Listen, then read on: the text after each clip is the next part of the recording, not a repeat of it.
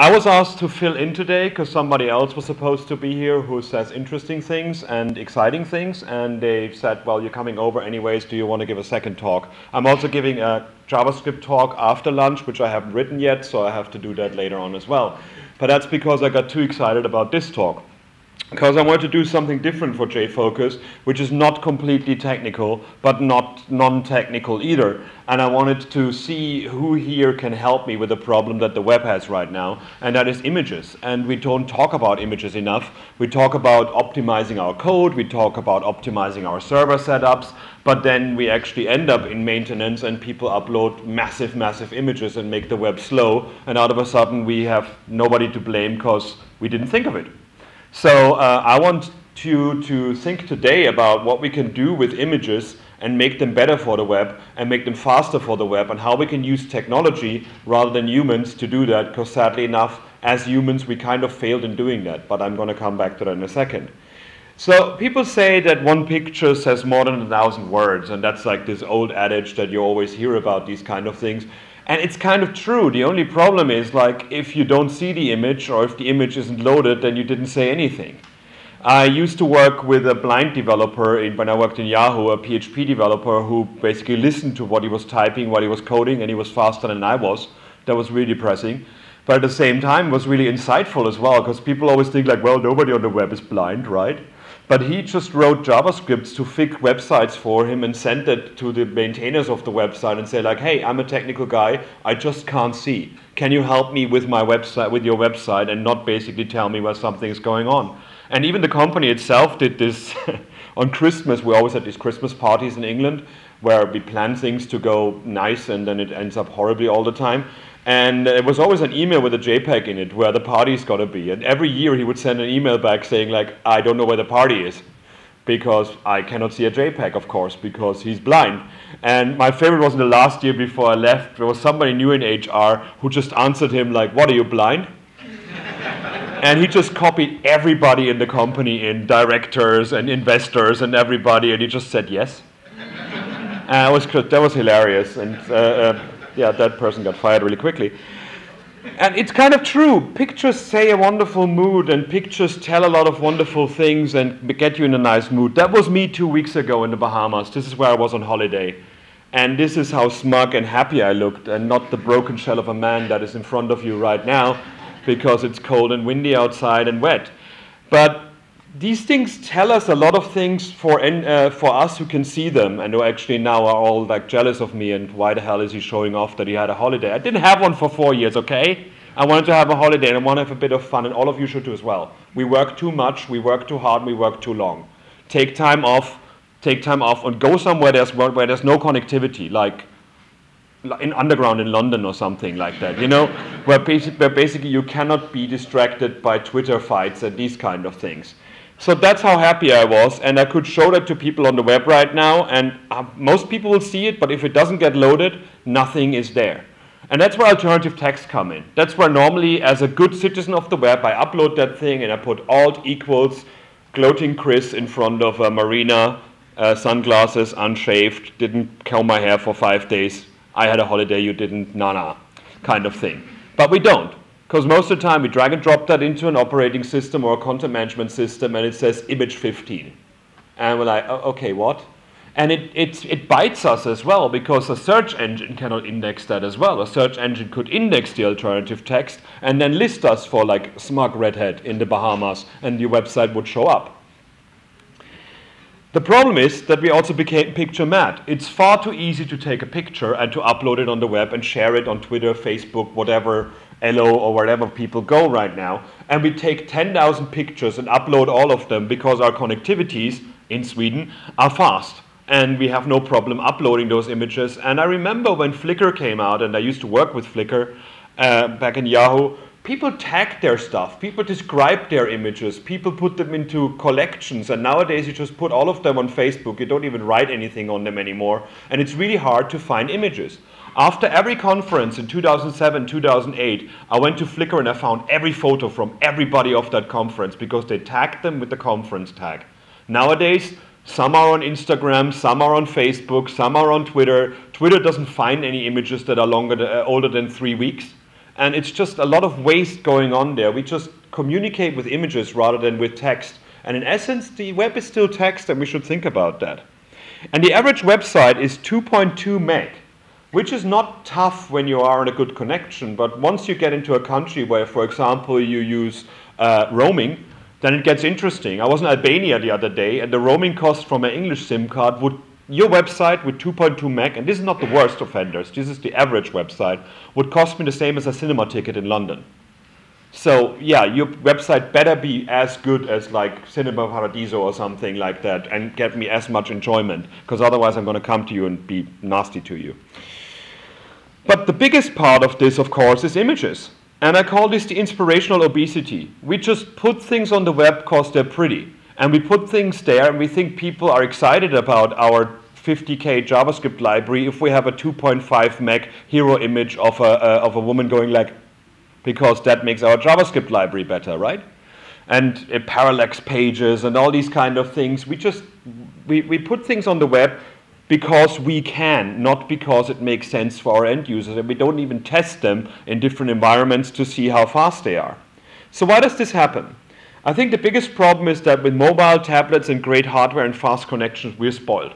We don't understand how much we actually expect from our end users if we sit on these fast machines in our offices and make these beautiful websites. When people tell me the other day, I was talking to somebody in Adobe and he's like, well, I can't work on that one. I need a 42 inch screen, otherwise I don't see all my tools at the same time. And I'm like, wow. You know, I remember when, when the internet development was on any machine as well and it's coming again with IoT and all these kind of things. But we don't feel empathy for our end users because we're on fast connections and our bosses as well. I loved it when back in the days the boss had a Windows 95 machine with IE6 and a dial-up because then, we, then they didn't ask for impossible things. Nowadays they're like, oh, it has to look great on my Retina iBook on wireless, uh, uh, uh, tablet on wireless, and everything else I don't care about because everybody has it. And the answer is, of course, send an iPad to everybody who wants to use their website, then, it, then they're happy. But otherwise, you just overload people and you just don't necessarily want to have that 5 megabyte image on your mobile phone. The bigger problem, of course, is maintenance. Because we build these websites and we shave off every K, we make our fonts smaller, we make our images, we optimize them and we make them pretty. And then somebody does maintenance for the next half year and uploads BMP pictures and things like that. Or uploads JPEGs that are 60,000 pixels because, uh, and resizes them to 100 by 100 because nobody pays people for maintenance. Maintenance staff are the low paid people on the internet. And, uh, and they're the ones that don't even get trained on what they're supposed to do. They don't know what different JPEG formats are. They just drag and drop an image in there, and hopefully the end user doesn't complain. And end users don't complain, they just go somewhere else.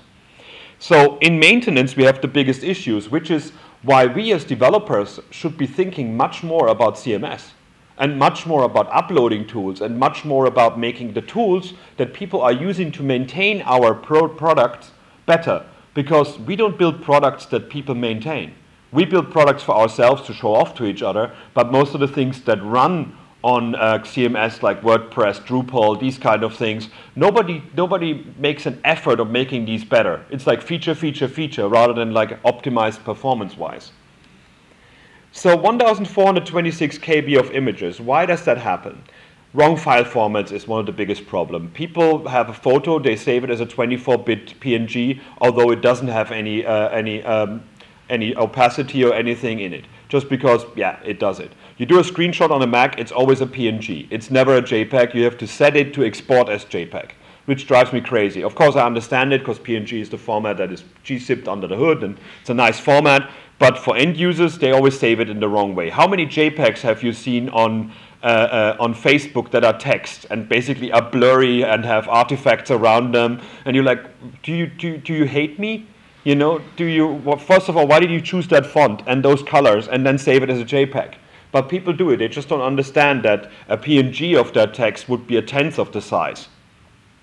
Delivering high, uh, scaled high-res images to everybody, it has to look good on that retina display, and then the others, well, they just have to load it and suck it up, although they got a 604 resolution on a netbook or something like that. No automatic conversion and optimization steps. Instead of having the uploader automate, automatically tell them like, that's a 5 megabyte JPEG, How about I make that a bit smaller for you? Or no, you're not allowed to use a 5 megabyte JPEG. Sooner or later, we just turn that off and allow people to upload whatever because we don't want them to call us.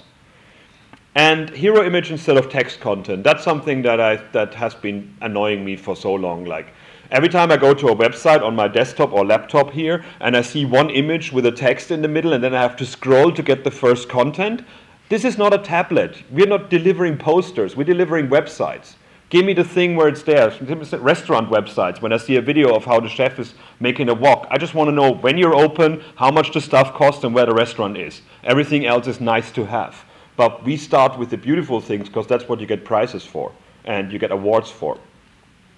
We need to work on this right now because the web is much bigger than the environment and growth happens outside of it. I worked with Mozilla before I went to Microsoft and we went a lot to India, to Africa, to Bangladesh and places like that. All the places where growth happens, where the new users are coming from. Not here, not in America, where people are already bored of the internet and instead download native apps all the time or just spend their time watching Hulu or Netflix instead of looking at websites and chatting on, uh, uh, on WhatsApp instead of going to websites. So the web is still worldwide, and there's a market out there that we need to cater for, but we don't because we cater for ourselves at the moment. There's surgical solutions for that. There's, for, for example, proxy browsers and cloud services. Um, a lot of them are used in those countries where you have like Opera Mini and uh, uh, Squirrel browser, whatever it's called right now, UC browser. They automatically package your websites. They make your images look horrible. They, they, uh, they minify your JavaScript. They take out your CSS. Any JavaScript that takes longer than one second to execute gets automatically ripped out by these browsers. And these are millions of users that get that experience. So we as developers are very, very angry about this, but I'd rather have 10,000 angry developers than 1.2 million users not being able to go to a certain website because we thought it's too important to have a massive hero image and to use every JavaScript library under the, under the sun in one website. And uh, Google just released that as well on iOS and on Android that you can now turn on their cloud service and automatically do 60% of packaging. So it converts it to, uh, to uh, SPDY and it also uh, optimizes the images for you and it minifies the code for you. So that way you can actually track your data storage or, or, or, data consumption on your mobile device as well. I don't know how long they're going to keep that up because it's actually very, very expensive for Google and other people to do. I also don't know if I want all my, uh, all my data to go through Google servers, servers before it goes to my machine, but that's just maybe me. But these things happen. These things are solutions. And that there are browsers out there and that there are services out there that are needed to do that means that we failed as web developers, as web developers, worldwide web developers. We failed because we don't understand that there's people out there that want to consume our content but don't get it because we thought everybody has these great machines and fast connections. So here are some things that we can do about this as well instead of just going to a cloud service. The problems we have is we have huge images for everybody, and this will not change. People like CEOs and company owners want to see the shiny things on their iPad, and, and you, during a pitch, if you show them something beautiful, they're more likely to sign it off than to tell them, like, look how, how optimized my alt text is. They're not going to care. But we have to think about it in the second step. We have unoptimized images. A lot of them just get like saved as web from, uh, uh from Photoshop, and nobody ever looks at them again. No alternative content. That's a big problem, and I still think that it's very, very easy to type in an alternative text, but if our content management system interfaces don't entice people to do that, and don't actually tell them what might be a good alternative text, then people are not going to do it, and we're just going to have image 15, image 12, these kind of things on the web. And no training or incentive to add content in CMS. CMS training is never about the quality of the stuff that you put in. It's all about like what features the CMS has. Our arsenal for this. Better browsers with responsive image support, we have that now. Automated lossless image optimization tools, file level access to images uh, to extract metadata, scripting solutions to offer alternative content, cloud services, machine learning APIs for intelligent resizing, and machine learning for tagging. And I'm going to go through these now bit by bit. That's why I did so fast. Better browsers with responsive image support. Responsive design has been around five, six years now, and we always had the problem with images in it, and we always had the problem with advertisements in it because they're not responsive. They're basically one fixed size, and the images We don't want to generate 10,000 images for every breakpoint that we have, and we don't want to scale an image with 100%. But the bigger problem was that media queries, the CSS technology that make responsive design possible, have an issue with images. And I talked about this four years ago on my blog, where I, uh, I found that media queries load everything. So if you have a media query in your CSS and you say like, okay, if it's 2000 pixels, download this massive JPEG. If it's 600 pixels, download the smaller one. If it's 300, download that one. If it's 200, don't show anything or show a background color. That's the right thing to do. The problem is the browser under the hood loads all of them because it parses the CSS before it parses the media queries. So all the, uh, there's a request to all these images and then it only shows the one that is applicable. And this was by design because uh, as a browser, I cannot just say, okay, I stop at a media query and then go on with the rest of the CSS because that would delay the, the rendering of the rest of your CSS. So we had to do a first parse, load all of them, and I talked with Chrome, I talked with Edge, I talked with Firefox, and we all said like there's no way around that. So back then, I, uh, I advocated for using match media in JavaScript. Match media is exactly the same as CSS uh, media queries. It uses the same syntax, but you can then say only generate an image when that certain width is, uh, is given or only load the image or request the image when it's necessary. So you can request these images on demand. Of course, the problem with that is that out of a sudden your, Java, your, your images become JavaScript dependent. But it's not a problem if you, if you load the smallest for everybody and only the bigger ones when they're necessary. Like like media queries should be working, but they cannot as browsers don't allow you to do that. But I think it's very important to understand this is still an issue. So if you think you're doing the right thing with media queries, you're still loading all the things. And that's where developer tools come in. And you just look at the net tab and you see what is really loaded. And then you understand uh, much more about this. The good news is that browsers now changed a lot. And they're evergreen, capable, and open. All of them. Internet Explorer 6 is dead, Internet Explorer 8 is dead, Internet Explorer 11 is only there when you need it, Edge is the browser that comes out of the box. Please forget about these old browsers. Stop thinking in browsers, think in capabilities. And we have the capabilities that we can build these beautiful things right now. The biggest problem, the biggest thing there is, uh, is the uh, picture element. Picture element and source set are two ways to make this thing happen. Source set is uh, an attribute on an image that allows you to say, if it's this kind of pixel density and that kind of resolution, show that image. If it's this and that, and so on and so forth. It's a rather cryptic syntax. It's quite hard to get your head around. That's why we also advocated for the picture element. The picture element is the same as the video element is for videos. So instead of having one image with a source set on it, you have a picture element and different sources, and they have media queries on them. So instead of loading all of them, it only loads the one that is applicable to it. Much like when you have a video element in it with an MP4, a WebM, and an, um, an MPEG, the, the first one that the browser understands is the one that gets loaded and the other ones don't get touched.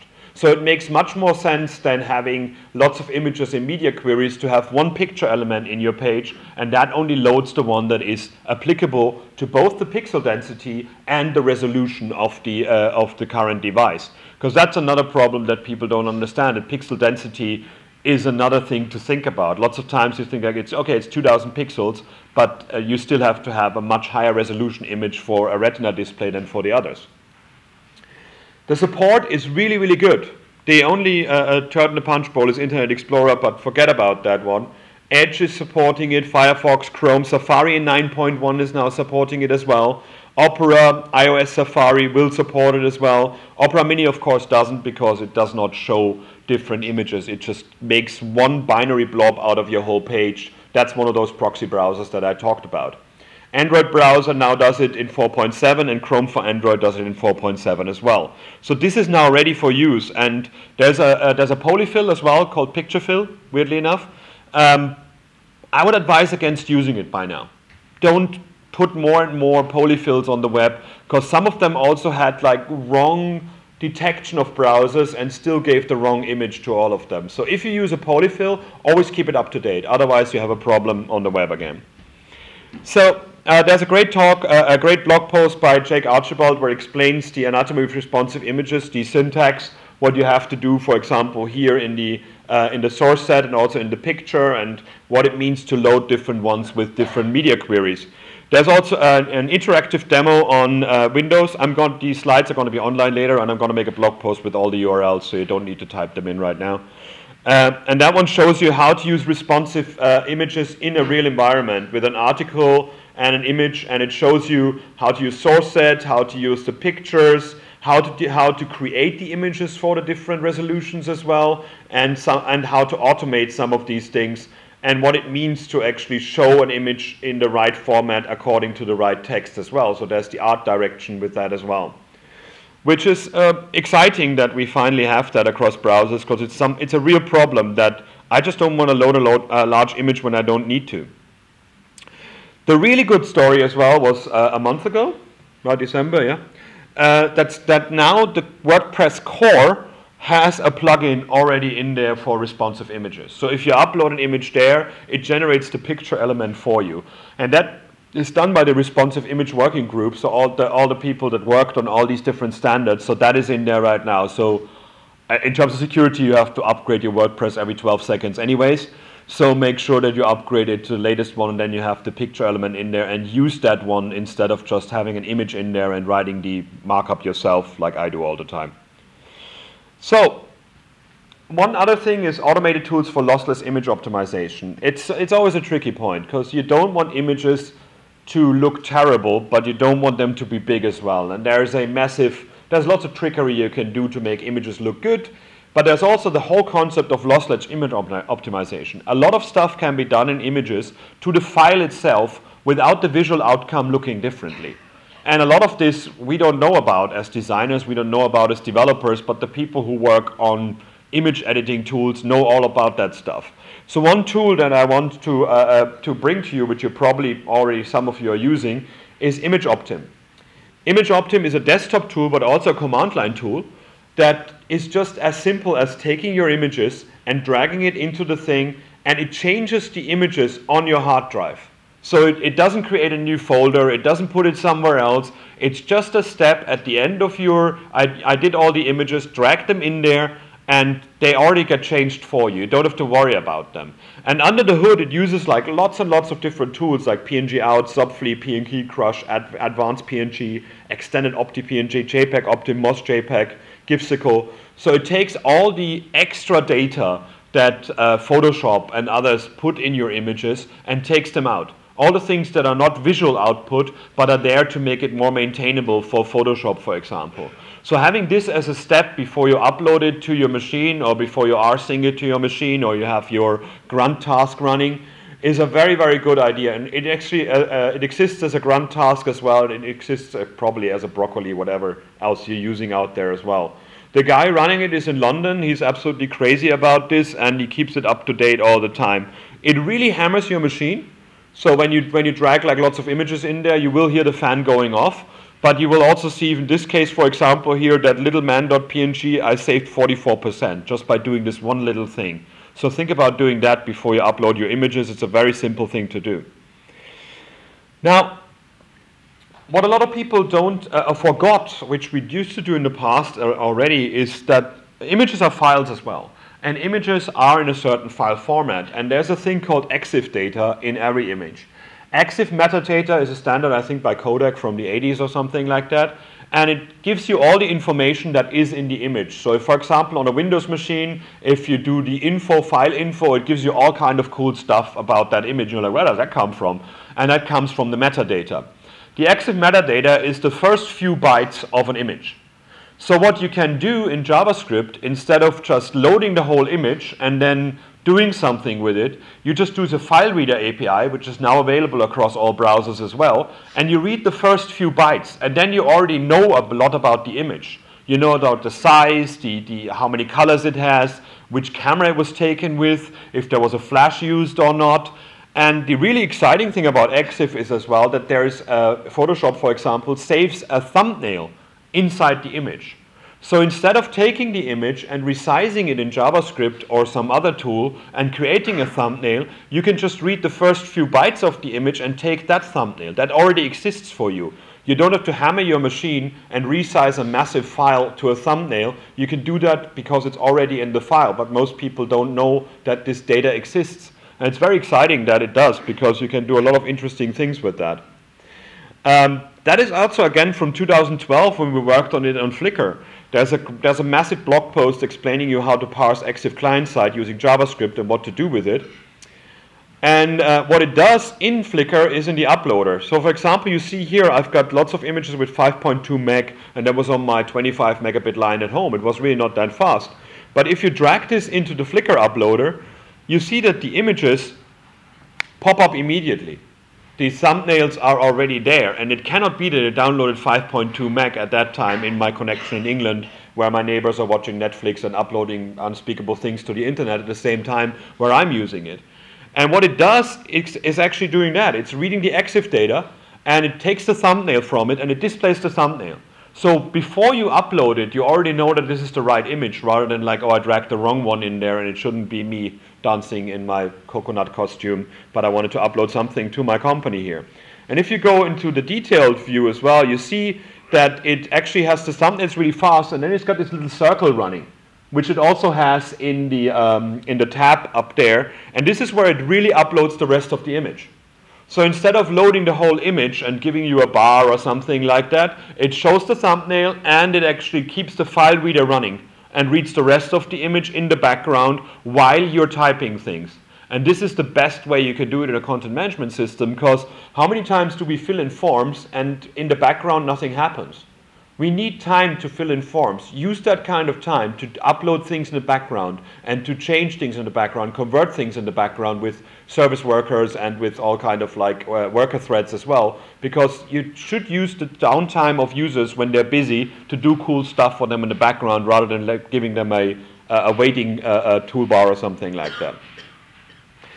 Of course, EXIF data is not absolutely necessary, so PNG uh, ImageOptim does that for you as well. I gave a talk at a TED conference, TEDx conference about social media, and I wrote this little removephotodata.com. So if you upload, before you upload an image, for example, to Facebook or Twitter, you can drag it into that one. It takes all the EXIF data out. It makes the image a bit smaller, but more importantly, it doesn't tell the people when and where that picture was taken, because that information is in every single image that you upload on the web. So it's quite funny when people think they're anonymous and they upload a photo from them like doing rude gestures in the camera, and then you look at the files, the file of it. And I wrote another little tool that is all there as well, uh, where you can drag the image in there and it shows you where on the planet the image was taken. And that's cool to show people off, but at the same time, why don't you use the data in a content management system and say like, hey, this was up, this was taken in London. Shall we tag it London for you? shall we get that information for you automatically because we know where it was done? And uh, like it, it might freak people out, but that's good as well because people need to know the amount of un, uh, in, uh, invisible data that they're uploading to the web. Now, fallback content I think is something we don't do enough as well. We just upload the image and we hope the image loads, and you see this like you see layouts where it just jumps around while the images are loading instead of having a, a placeholder with the right size and a background color. And then the image loads on top of it. That's pretty enough. And that means people know that something is coming. People don't get surprised by out of a sudden an, an image popping up and the, the, the text that they're reading right now going down. And uh, there's a lot of good stuff we can do with that. This is a, a visualization of the Crayola um, pencils for kids in America, how they started, which colors, and how many colors are available right now as well. I love that kind of stuff. So there's um, um, Medium, for example, has this blur up technique. So they have this image that looks very blurry, and then out of a sudden it shows up as the image, and that is kind of cool. That is the HTML that they use for that effect. That is ridiculous. This is this is not fun. I don't know what they're doing there. And there's a, a, great article as well on CSS tricks how to do that. In essence, what you do is you take a very, very small part of the image, you resize it to a, some, a very, very small version with a few K, or a few bytes actually, and you resize it up and you put a blur filter on it in CSS. This way it looks blurry and then it becomes less blurry by the time it loads. Uh, there's a few problems with that, of course, because blurring is very, very expensive to the to the uh, uh to the CPU and to the GPU. So if you'd use that in a scrolling environment, bad idea. Blurring and uh, and drop shadows and gradients in a uh, in a scrolling environment, never a good plan on a mobile device. But uh, for desktop, like they do it, it's not it's not that much of a bad idea. But again, they generate an extra JPEG for that little blurry one And sometimes you, you, uh, you embed it as base64 in the page so you don't have another HTTP request. But you could use the JPEG in the EXIF data for that one as well. So you don't need to actually create an extra file. You just read the same file and then you read it in the background as well. So that's one way how to could optimize that one for better use. The way you find out which images, uh, which, num uh, which, which colors are used, so if you have a background color and then just change, to the, change the image to the background color is canvas. HTML5 canvas, for, for, for the canvas, every image is just a collection of pixels. It's a massive array of RGBA values and from left to right and top, uh, uh, top to bottom. So I'm, uh, when I was on holiday, uh, in between my jobs, I wrote this massive article about pixels and, and canvas. And this is, for example, what I do here. You read that image and you find there's 1024 uh, black pixels and the others are gray and these kind of things. That was done on the Commodore 64, that's why it's only four colors yeah, I'm kind of geeky. This is the code how you do that. Don't need to go into detail, but it's very, very simple to find out which colors have been used and which were the most predominant colors. This is a good thing to do on your server in Node or something like that or in a web worker. Don't do it on every image in every blog post directly because that would actually burn the machine of your end users unless you do it in a worker, but it's still, that's the kind of stuff that should happen in the content management system or when you upload it. When you upload it, it should tell you, oh, by the way, these are the image, these are the colors in the image. Which one do you want to be the background color while the image is loading? How cool would that be to put in a content management system? And that's the kind of WordPress plugins that I'm writing at the moment. There's also Colorify.js, which does that in JavaScript. So it automatically finds out the images and does the background colors. It also generates gradients if you want to have gradients. Again, please don't do that on a scrolling environment. If it's really a desktop with a lot of space, fine but I, I it's kind of weird. We spent about three years making rounded corners and gradients happen, and then we got uh, flat design, and nobody wants to use them any longer. And you're like, thanks. But gradients and drop shadows are really the hardest things to write, and it's not fun to for the computer. There's a great tool called Color Thief, which uh, is, does the same thing. So you upload an image, you click on it, and then it gives you the uh, the dominant color and the palette that was used in that thing as well. So that's a really beautiful way of using that automatically. Again, you can use it in a node environment to generate a JSON file for every image that you have to get the background colors, for example. Now, this is getting this is where it's getting really cool, and this is where I love to be out of my comfort zone because I'm working with a lot of people in machine learning and artificial intelligence right now because they're more intelligent than me, and it's fun to talk to them and see what kind of things they come out with. Uh, image resizing is of course a problem because you, you can resize an image completely and make it completely invisible then. That lady in 200 pixels would be just some yellow and red pixels and you don't know what's going on here. But when you see the resizing that's going on here, so you cut it on the, on the left hand side, uh, you cut it on the right hand side, take the pixels off that you don't need and resize it, or you center it on her face, like in the second version, or you actually find the whole outline of the lady and then create only that as, a uh, as an image. That can be done in Photoshop, of course, but this is a lot of work to do for every image that would be in a gallery. And this is where machine learning comes in, and this is where outline detection and facial detection comes in. There's a JavaScript for that again. There's a JavaScript for everything, really. Smart SmartCrop.js, which does that uh, uh, in Canvas again. Or I think it's WebGL in the background, so it actually has better, uh, uh better hardware acceleration. Good idea to use, not good idea if you have lots and lots of images because it's very heavy on the machine again. But it shows you the logic of it if you're looking, if you want to look into it. There's also services for that. Uh, one of them is Cloudinary, which is a uh, um, yeah, it's a cloud service where you upload your images, and they have all kind of cool parameters when you detect your images and you want to have them in there. So you can resize them, of course, with width and height, but you can also uh, resize them by um, uh, by aspect ratio. So okay, 16 by 9, 400 pixels. So you don't have to do the math yourself, and it does it automatically for you. You can say center on the face of the person in the image.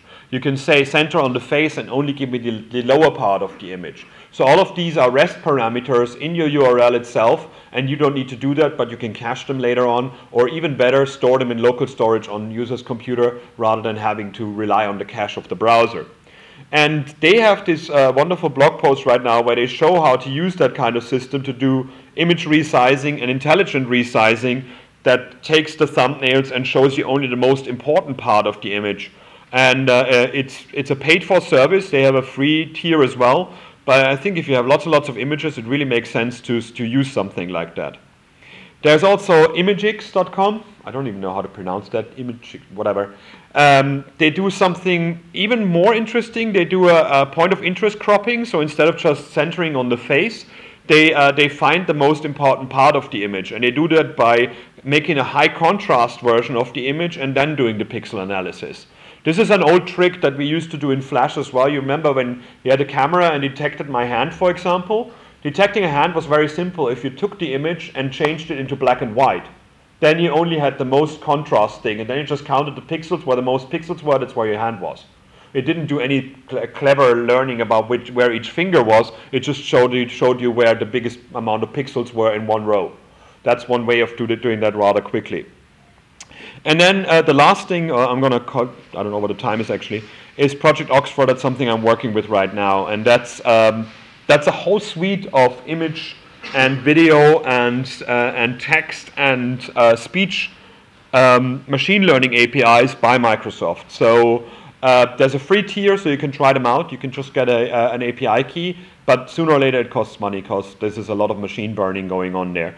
But there's some amazing tooling in there that you can use, and you can use that to, to for example, in your uh, content management system to give people a lot of information instead of just expecting them to have alternative text to type it in. So one of the things we have here is feature analysis. So what that one does, I, I probably show it live. How about that? Nothing will go wrong ever. For example, it doesn't switch to my Firefox. Good. Uh, there you go. So what we have, for example, here is the vision feature analysis. So what that one does is you upload an image to it and it tells you all kind of data about that image. So in this case, it's a man and he's swimming in the water. So the cat category is people swimming. He's 28 years old and that's where his face is. And you get the data here, and uh, if we didn't have that terrible scrolling thing, I could show it to you easier. We have the data here that it says like, this is not a black and white, uh, black and white image, this is not adult content, this is not racy content. And you see in the background here, you got the color background, color foreground, dominant colors, and accent colors. So that one is automatically generated for you just by uploading an image. And you can do that with any image on the web. You can upload your own ones as well. So this one now here is a train running with a person there. And it says it's a non, uh, non-line art. It's train, uh, trains, train station. The colors are, are found for you as well. Again, it's not racy. Whereas this lady in a bikini, for example, here is racy content but it's not adult content. And that's something to sometimes wonder about, you know. And how cool is this to take a, uh, take a folder of images and run this analysis tool over it and have a database of metadata without having to do it yourself, without having to type things in.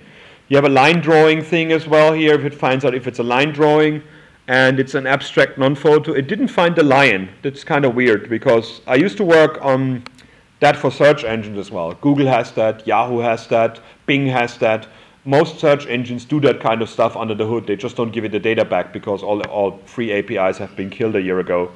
But it's quite amazing what you can find there. And also it finds different faces and different ages. So it's not only one face. And it gives you the data of these um, of the faces as well. Where in the image are, where the eyes are, where the noses are, where the mouth is. And that's something that you can do some really interesting bits and bobs with. Um, OCR data, of course, uh, you put a text, you put an image in there with a text, and it gives you the text. That's pretty cool as well. Google had that as part of their Drive API, but it was not an official uh, API. But uh, I basically had my developer tools open, and I blogged about it, so they made it official now, because they had to.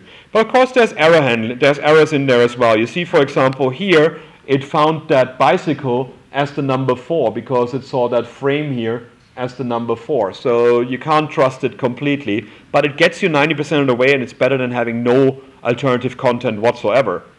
The thumbnail API does the same thing I talked about, so it finds the most important part of the image and creates a thumbnail accordingly then, and it gives you all of the thumbnails as one data blob to download, so you don't need to resize them yourself uh, if you wanted to. That is important if you have things like this, where now your uh, logo is readable in all the thumbnails and it, it's not only just resized to have lots of white around it and just uh, an unreadable thing in the middle. I found that very, uh, very interesting to do. Uh, the other thing we have is emotion detection, which is uh, sometimes hard when you use, for example, Finnish people or something like that. But it's um, uh, face detection and emotion detection. So you got the face API. That one just tells you where in the image is a face. So live demo. Of course, one click is too much. Where you say, okay, we got the lady here. She tried to hide with glasses, but we still found her face. So we got the face rectangle and the landmarks, pupil left, pupil right, and so on and so forth. And you got like three different images, three different people in there. And that machine learning has been getting better and better over the years. I remember there was HP had a computer where it did, didn't detect any black people. So you could unlock your computer by looking into it, and there was tons of videos of people in the shops like, I work here and I can't unlock the computer because it doesn't find me. And that's bad. That's, that's the kind of bad things about, uh, uh about detection. Of course, once you have that, uh, it, it doesn't only ID the image where the image is, but it gives it a unique ID, like that face ID here. That one allows you then to say, like, are these two people the same in two different pictures? So if you have, for example, an intranet and people upload lots of photos, you can automatically tag who is in these images rather than people having to type that in all the time. Much like what Facebook does right now, but that one is as an open API for you to use and it says like, okay, is that the same person? No, it's not, or yes, it is. Uh, what else do we have? These are the vision, uh, vision ones, these are the facial ones, yeah, the emotion one. And speaker recognition, speech API, we do the same thing about voice right now, which ironically is much, much harder than images. But finding your, uh, uh finding what kind of emotion you have while you're speaking, that's something we're still working hard on. It's really easy, not easy to do. But yeah, again, live demo here, if it loads. You basically have the faces. This guy is happy. Um, happiness factor of one. This one as well. They're all happy people because they're basically a, um, a stock photo. Um, there's no happy peop unhappy people allowed. Uh, but this one, for example, has a bit of happiness and a bit of surprise. And it's also got a tooth missing, which should be found, but it doesn't. This lady is unhappy, and it should tell us that, is that she's unhappy as well. And this is, for example, something that might be cool to take a whole bunch of images and create folders with different emotions and automatically sort them into them. So if you, for example, have an image gallery for people using PowerPoints and they want to have only happy people photos, you can automatically sort them into different folders using this API. Um, I think this is something I'm getting really excited about because, first of all, I have no idea how they do it. But secondly, it's just interesting what you can do with that when you, when you start uh, having a devious mind like mine and you start building random things with it. So what we have, for example, I have the feature analysis here to go through it now quickly. Facial detection recognition, emotion recognition, and then you have demos using these services. One of them is HowOld.net, and probably some of you have seen that because that went viral when it came out because everybody had like, okay, it's wrong, and oh my god, I'm younger, oh my god, I'm older, oh my god, I'm not a turtle, and these kind of things. And that one told you like the gender of people, and it told you their age. So you click on it, and you use these photos, and it says like, this guy's happy and 27 years old. And you can upload your own photo and upload it there, for example, me speaking at a TED event, and it says I'm 36 years old, which is only five years off, so hey, that's not bad and it's not older, so that was quite nice as well. And uh, you can also get a human opinion, try another photo. The fun thing with that one, of course, is 90% of the feedback was like, oh, Microsoft is doing that to collect people's faces. And you're like, yeah, like Google, Facebook, every airport, every shop did this in the last 10 years. But what is amazing about that technology, and I'm getting, I'm ranting here right now, is that what we also did, for example, is take video analysis and facial recognition and emotion recognition on this and they do machine learning, for example, for football stadium. And they found out they can now predict riots before they happen by having this kind of information and that kind of data. And that's getting quite interesting if you think about it. Sadly enough, a lot of times you don't get that data. In England, if you're filmed by a CCTV camera, you can talk to the government and request that recording. So there were a few bands that played gigs in front of CCTV cameras and then asked for that as their music video. It's quite fun when you read about laws from time to time.